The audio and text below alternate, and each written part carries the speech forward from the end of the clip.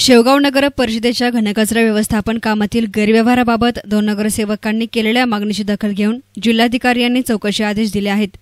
त्यासाठी नियुक्त केलेल्या त्रिसदस्यीय समितीस चौकशी करून अहवाल सादर करण्याचे आदेश त्यांनी दिले आहेत. याबाबत नगरसेवक कमलेश गांधी आणि शब्बीर शेख यांनी जिल्हाधिकाऱ्यांकडे केलेल्या तक्रारीमध्ये म्हटले होते की शेवगाव नगर परिषदच्या घनकचरा व्यवस्थापन कर्चरचे वर्गीकरण करून संकलन आणि वाहतूक करणे या कामाचे टेंडर काढण्यात आले होते. या टेंडरसाठी एकूण चार निविदा प्राप्त झाल्या होत्या.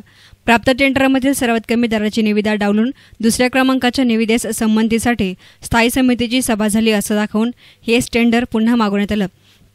त्यासाठी चुकीचा ठराव करत अधिकाराचा दुरुपयोग केला असून या कामाची स्वतंत्र यंत्रणेमार्फत चौकशी करून संबंधितावर कारवाई करण्यात यावी आणि पुन्हा भरलेल्या रिकॉल टेंडरला स्थगिती देण्याची मागणी केली होती.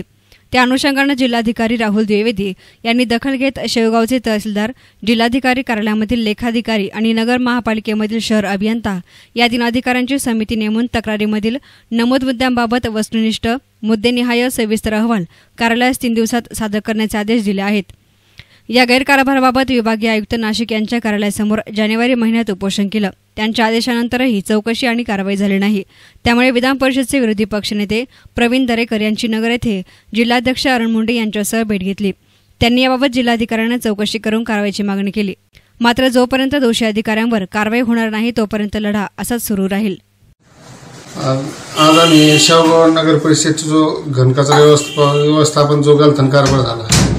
त्या संदर्भात आम्ही सात एक सात एक दोन हजार दोन वीस रोजी आम्ही विभागीय आयुक्त उपशांना उपोषणाला बसलो होतो. त्यात बाय त्याला जो डम्पिंग ग्राउंड जो मशीन आहे त्या मशीनची चौकशी बाय जो बाय माइंडिंग जो जो कचरा आहे बाय माइंडिंग केलेला त्या संदर्भात जो नऊ हजार क्युबिक मीटर कचरा दाखल तो चुकीच्या पद्धतीने दाखवून त्याचं बिल आचारसंहितात काढण्यात आला. त्याच्याविषयी आम्ही तिथे ते प्रश्न घेऊन बसलो. आणि बाय माइंडिंग जो मशीन आणलेली आहे तर त्या मशीनमध्ये मी फार फारतापद बत्तीस लाख रुपयाची मशीन दाखवली गेली. ती मशीन असेंबल मशीन आहे. कोणत्याही कंपनीचं टिकर नाही कुठं काय नाही.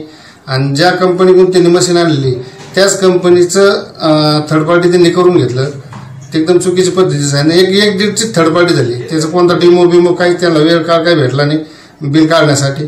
त्यात आम्हाला चुकी दिसली त्याच्यामुळे आम्ही ते सगळे प्रश्न घेऊन विभाग आयुक्त समोर तिथं उपोषणाला बसलो. तसं डम्पिंग ग्राउंडवर जो डी पी आहे आणि कुठपणे कुठला ठराव नसताना काही नसताना तिने आणि कुठपणे जे जे डी पी उभी केली.